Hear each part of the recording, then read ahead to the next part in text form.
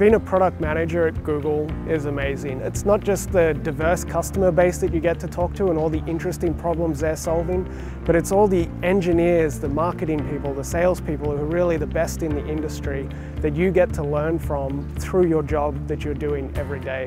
It's an opportunity you just don't get in a lot of places. So I've been at Google 10 years as a full-time engineer, um, but in 2005 I was also an intern, uh, a co-op for four months. I've worked at Google for about two and a half years now.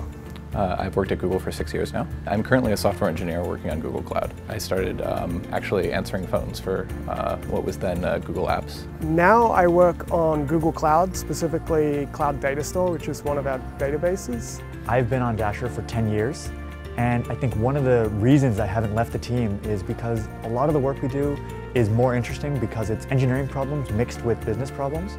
And you know, we're solving engineering problems, but it's always with respect to a real business need. So you see real customers use it, uh, and that sort of keeps things interesting. So we noticed a while back that there were a lot of Gmail addresses that were of the format mycompany at gmail.com.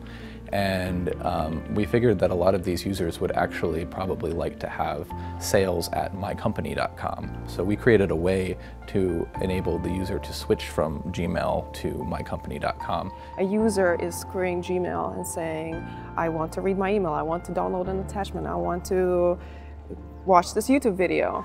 Uh, and so over the years, we keep adding more collaboration tools and, you know, to get to where we are today, but it all started with, with Gmail. Google is just concentrating on what are the unique environments that our customers work on and what data can we bring to help them out.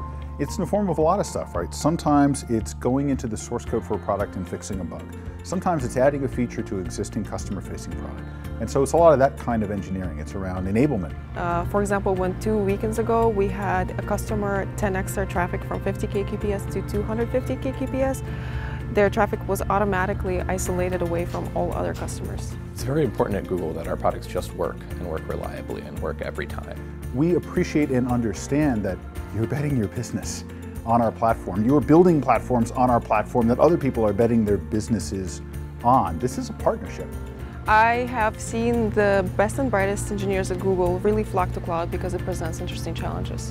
The infrastructure that we run, the product we give out to people, it's more about having that culture that enables innovation and encourages people to talk about the right solutions. One of my favorite things about working at Google is that I'm surrounded by really, really smart people and that they're, they all seem to be experts in some field that you wouldn't have even known that they were experts in. You've got all these successful companies and we are helping them be better.